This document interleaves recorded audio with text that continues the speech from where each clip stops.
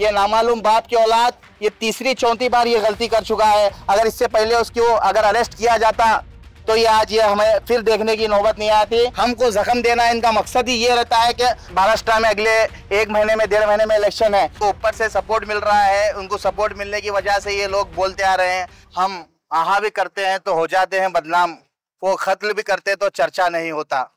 2014 के बाद से ये बीजेपी हुकूमत जो सेंट्रल में आई है, उसके बाद से आप वसल्लम के बारे में तमाम कई सारे, ये जो नामालूम बाप के औलाद हैं, ये लोग गुस्ताखी करते ऊपर से सपोर्ट मिल रहा है, उनको सपोर्ट मिलने की वजह से ये लोग बोलते आ रहे हैं। अगर ये लोगों को पहले ही अगर हम जब एफ़ करते हैं अगर जब भी उनको अरेस्ट किया जाता तो ये दूसरों की हिम्मत नहीं होती।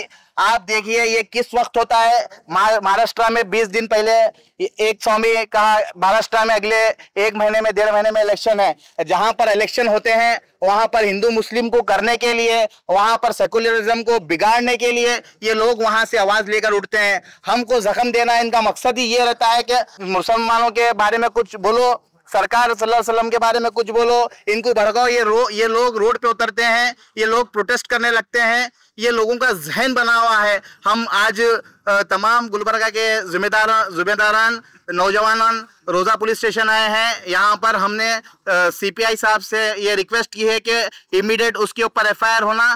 तो इनशाला अंदर हमारे तमाम लीडर्स सीनियर लीडर्स वहाँ पर एफआईआर कर रहे हैं। एफआईआर हो रही है। इनशाला ये एफआईआर के बाद हम इनशाला उसको अरेस्ट करने की तमाम गवर्नमेंट के ऊपर दबाव बनाकर हम एक मुहिम छेड़ रहे हैं कि इसे अरेस्ट किया जाए। ये नामालूम बाप की औलाद। ये तीसरी चौथी बार ये गलती कर चुका है। अगर इससे पहले उसको अगर अरेस्ट किया जाता तो ये आज ये हमें फिर देखने की नौबत नहीं आती।